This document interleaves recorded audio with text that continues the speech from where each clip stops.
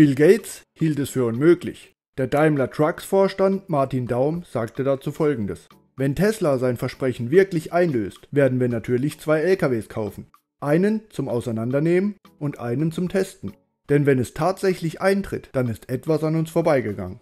Bis auf weiteres gelten aber dieselben physikalischen Gesetze in Deutschland und Kalifornien. Es geht um den Tesla Semi und seine enorme Reichweite von 500 Meilen, was ca. 800 Kilometern entspricht. Davon können deutsche und europäische Hersteller aktuell nur träumen. Die meisten elektrischen LKWs, die ich bisher gesehen habe, fahren nicht weiter als 200 bis 300 Kilometer mit einer Akkuladung. Für eine kürzere Fahrt sicher ausreichend, aber für weite Strecken ausgeschlossen. Heute zeige ich dir die echten Testergebnisse, die PepsiCo von ihren 21 Semis veröffentlicht hat und wie sich diese zur Konkurrenz unterscheiden. Ich war absolut schockiert, aber siehe selbst. Werde Abonnent meines Kanals für noch mehr wissenswerte Videos. Es würde mir sehr helfen, meinen nächsten Meilenstein von 1000 Abonnenten zu erreichen. Moin, Mahlzeit, Abend, wann auch immer du das Video schaust. Ich bin Rappi von Cyber Gigafactory. Los geht's! Tesla Semi, die Grundlagen. Einige von euch werden sicher die Daten der Enthüllung von 2017 kennen, aber für alle anderen, die sich nicht daran erinnern können, fasse ich die wichtigsten noch einmal kurz zusammen. Es wird zwei Versionen des Tesla Semis geben, eine mit 480 und eine zweite mit 800 Kilometern Reichweite. Die Beschleunigung auf 100 km/h soll ohne Anhänger in 5 Sekunden erfolgen. Zum Vergleich braucht ein Diesel-LKW dafür mehr als 15. Mit voller Ladung von 40 Tonnen braucht er gerade einmal 20 Sekunden, im Gegensatz von über einer Minute für die Dieselalternative. Natürlich ist Beschleunigung bei einem LKW keine Priorität, aber wer schon mal einem Elefantenrennen auf einer Autobahn im Schwarzwald beiwohnen durfte, würde sich sicher über etwas schnellere Überholvorgänge freuen. Ich spreche aus Erfahrung, besonders auf der A8. Diese Power hilft dem Tesla Semi auch dabei bei einer Steigung von 5%. Er schafft es mit über 100 km/h den Berg hoch im Gegensatz zu 70 km/h. Der Luftwiderstandskoeffizient ist mit 0,36 besser als bei manchen PKWs und circa halb so groß wie bei der direkten Konkurrenz. Er besitzt drei Elektromotoren, von denen einer für Highway-Geschwindigkeiten und die anderen beiden für Beschleunigung konzipiert sind. Wenn der LKW dann die Geschwindigkeit erreicht hat, werden zwei der Motoren mechanisch abgekoppelt, um Schleppverluste zu vermeiden. Dadurch ist die Effizienz besonders hoch. In der Fahrerkabine sieht es Tesla-typisch minimalistisch aus. Der Fahrer sitzt zentral in der Kabine und die bekannten Bildschirme der PKWs sind gleich zweimal rechts und links daneben positioniert. Rückspiegel gibt es nicht. Die Repeater-Kameras an den Seiten werden auf dem äußeren Drittel der Bildschirme dauerhaft angezeigt. Wie alle anderen Teslas hat auch der Semi einen Frunk, in den der Fahrer wichtige Utensilien unterbringen und verschließen kann. Die Ladegeschwindigkeit war noch nicht wirklich bekannt, aber es wurde davon gesprochen, dass 640 Kilometer in 30 Minuten nachgeladen werden können. Dafür will Tesla sogenannte Megacharger aufbauen. Zuerst bei Logistikunternehmen und später auch auf stärker befahrenen Routen. Und natürlich sollten alle bekannten Sicherheitsfeatures aus den Autos enthalten sein, bis hin zu Enhanced Autopilot und Full Self Driving. Falls du mehr über dieses Feature sehen möchtest, findest du mein Video dazu in der Infocard oben rechts. Sehen wir mal, welche Versprechen Tesla halten konnte und welche nicht. Die realen Werte bei PepsiCo. Vor wenigen Wochen am 2. August kam ein Nachrichtenbeitrag von runonless.com, bei dem einige Mitarbeiter von PepsiCo zum Tesla Semi interviewt wurden. Die Semi-Flotte ist sehr hilfreich für die Einrichtung in Sacramento, Kalifornien.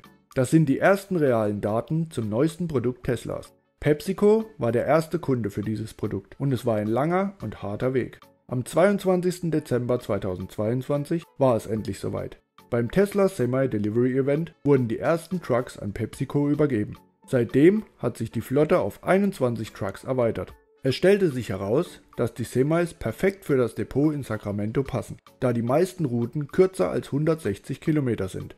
Dies ermöglicht es, den Tesla Semis im Grunde rund um die Uhr zu laufen. Das Unternehmen gibt an, dass das Aufladen an ihren Megachargern oder an einer der vielen Tesla-Stationen entlang der normalen Lieferstrecken maximal 25 bis 30 Minuten dauert, um ein Fahrzeug von 10 auf 95 Prozent zu laden.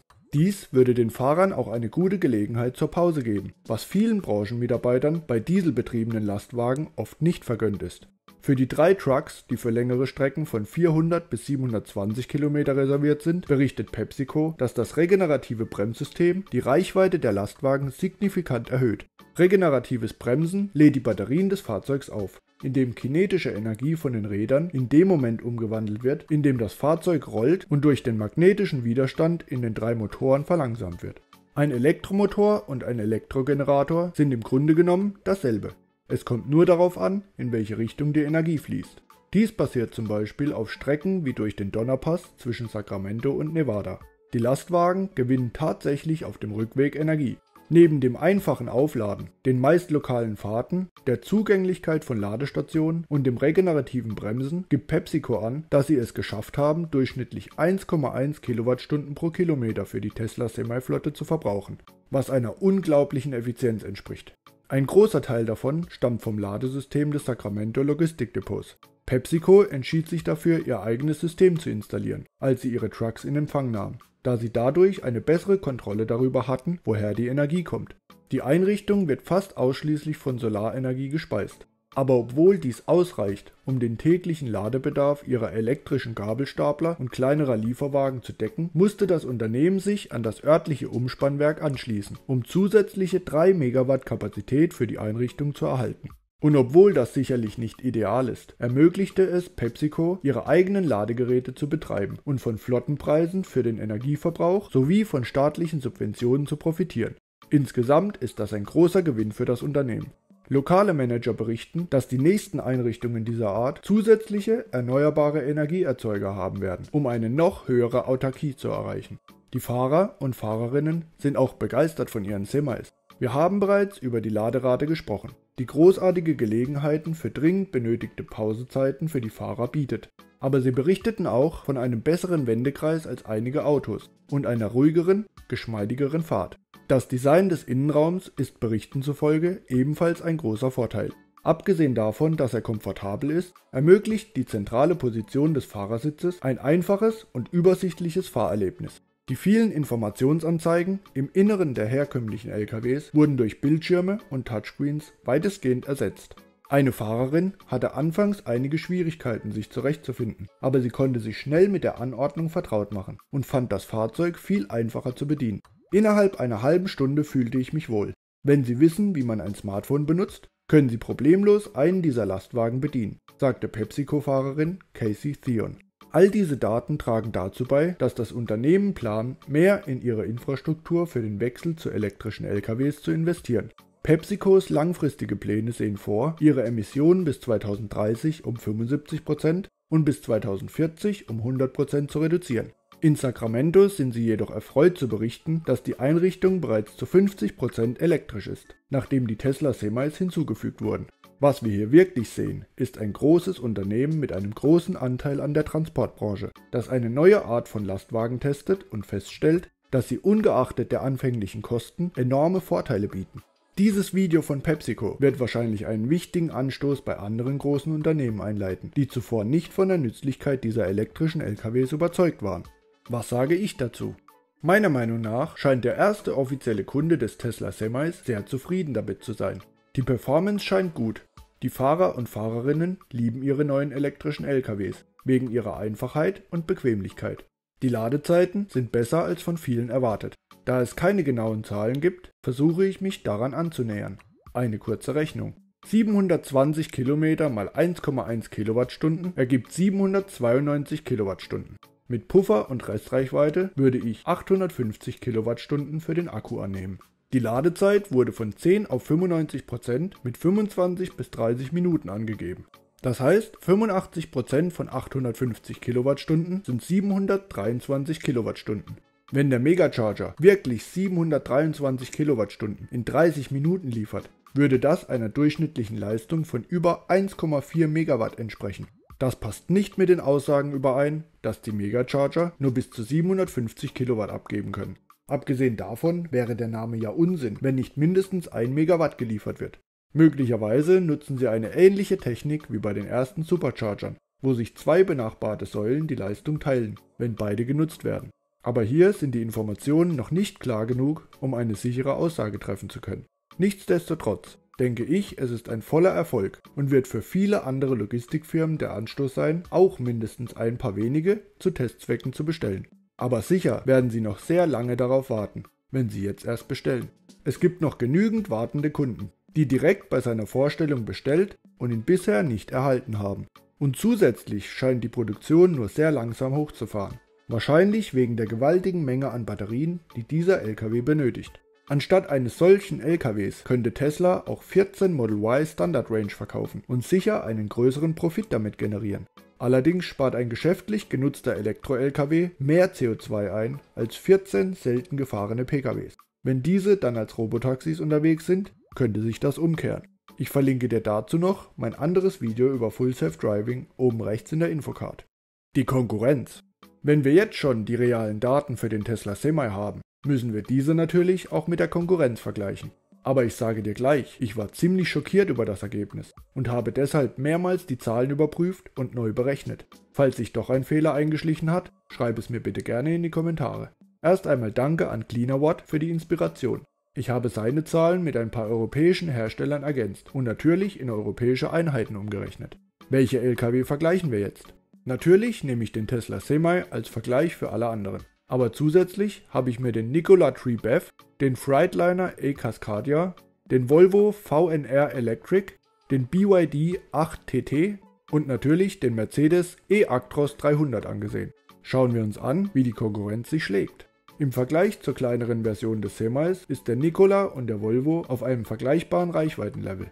Der Rest ist mit teilweise weit unter 300 Kilometern weit abgeschlagen, wobei ich bei der Recherche von einem E-Actros 600 gelesen habe, der die doppelte Batteriekapazität haben soll. Da dieser aber bisher noch nicht ausgeliefert wurde, muss der Vergleich mit ihm bis zum nächsten Video dieser Art warten. Die Konkurrenz hat sich wohl eher auf Kurzstrecken fokussiert und das sehen wir gleich bei der Ladeleistung ganz besonders. Schauen wir uns aber zuerst die Effizienz an. Ich habe die Tabelle der Effizienz nach sortiert. Im Video von PepsiCo wurde von durchschnittlich 1,7 Kilowattstunde pro Meile gesprochen. Das entspricht 1,06 Kilowattstunden pro Kilometer. Man sieht deutlich, dass die Konkurrenz ähnlich wie bei den PKWs einen signifikanten Effizienznachteil hat. Mindestens 17% mehr verbraucht der E-Cascadia. Aber der BYD verbraucht laut meinen Daten über 66% mehr als der Semi. Da es im Logistikbusiness auf jeden Cent ankommt, wird das sicher viele Firmen überzeugen, mindestens einen Semi zu bestellen. Das sind schon relativ große Unterschiede, oder?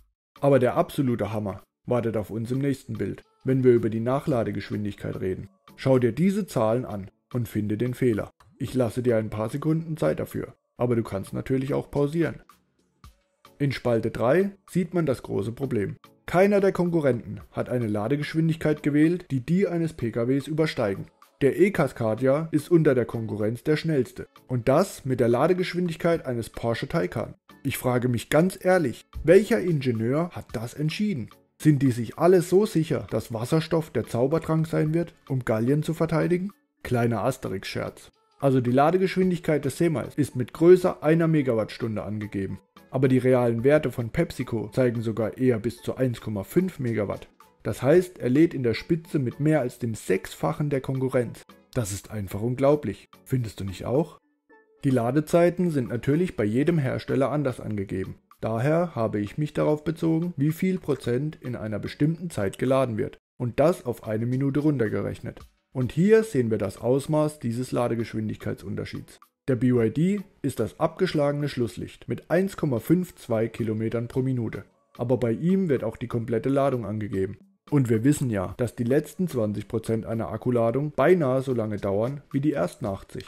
Daher könnte der Wert besser sein, wenn man auch hier nur bis 80% rechnet. Der Rest liegt mit 2,2 km pro Minute für den Mercedes bis hin zu 3,9 km pro Minute für den Volvo auf einem einigermaßen vergleichbaren Level.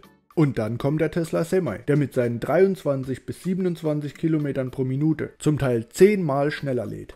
Als ich das zum ersten Mal realisiert habe, habe ich sofort nachgerechnet, weil das eindeutig nach einem Rechenfehler aussah. Aber ich kam wieder auf die gleichen Werte. Und nachdem ich mir sicher war, dass die Berechnung richtig war, habe ich Gründe dafür gesucht und gefunden.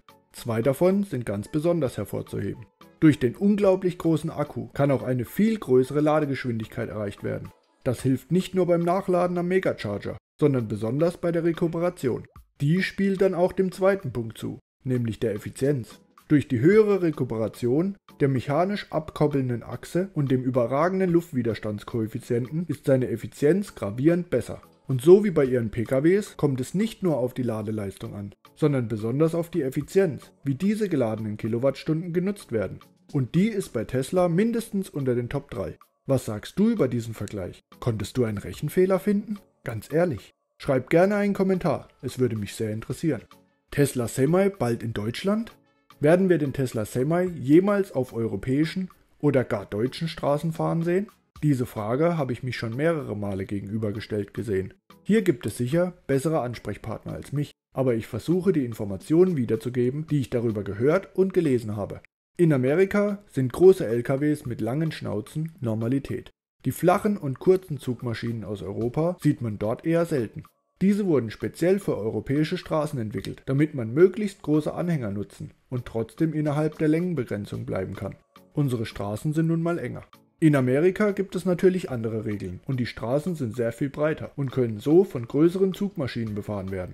Mehrere Kommentatoren haben mir mitgeteilt, dass der Semi in seiner aktuellen Form nicht nach Deutschland kommen wird. Unsere Anhänger sind Standardmaß und passen genau mit den europäischen Bauformen noch in die Längenbegrenzung. Aber es gibt bereits Ideen, diese Begrenzungen etwas aufzulockern für elektrische LKWs, wegen des dadurch verbesserten Luftwiderstandes. Das ist natürlich nicht sicher, aber die Hoffnung bleibt, dass wir irgendwann Tesla Semis auf unseren Straßen sehen könnten. Ganz abgesehen davon könnte zum Beispiel Tesla eigene Anhänger zum Pkw-Transport entwickeln und bauen, um dann innerhalb der erlaubten Größe zu bleiben. Soweit ich verstanden habe, haben sie in anderen Ländern auch schon ganze Logistikunternehmen so gut wie übernommen, damit diese ausschließlich für sie liefern. Warum dann auch nicht in Deutschland? Mit angepassten Anhängern. Vielleicht sogar mit Akkus, die die Gesamtreichweite noch vergrößern. Nicht jede Ladung hat das Maximalgewicht. Wer weiß, das sind natürlich alles Spekulationen und Hoffnungen meinerseits. Ich finde, er sieht einfach so viel cooler aus als jeder andere LKW, den ich bisher in Europa gesehen habe. Und manchmal träume ich sogar davon, wie ein Tesla Semi vor meinem Haus vorfährt und mein Model Y in Quicksilver Metallic ausliefert. Das wäre so schön. Ich bedanke mich schon jetzt bei euch allen, die diese Branche sehr viel besser kennen als ich und mir in den Kommentaren schreiben, wo ich falsch lag, richtig lag oder einfach, wie euch das Video gefallen hat. Damit bin ich am Ende meines Videos angekommen. Ich hoffe, du konntest etwas Neues lernen. Wie hat es dir gefallen? Schreib mir gerne einen Kommentar. Was denkst du über elektrische LKWs? Haben sie eine Zukunft auf unseren Straßen oder brauchen wir weiterhin stinkende und laute Diesel-LKWs? Über ein Like und Abo würde ich mich sehr freuen. Es ist für dich völlig kostenlos, aber nie umsonst. Und folge mir gern auf Twitter für noch mehr interessante News. Falls du mich direkt unterstützen möchtest, schau doch mal in meinem Merch Store vorbei. Da sind ein paar richtig geile Designs dabei. Link in der Beschreibung. Vielleicht interessieren dich auch meine anderen Videos. Vielen Dank für deine kostbare Zeit. Bis zum nächsten Mal. Dein Rappi von Cyber Gigafactory. you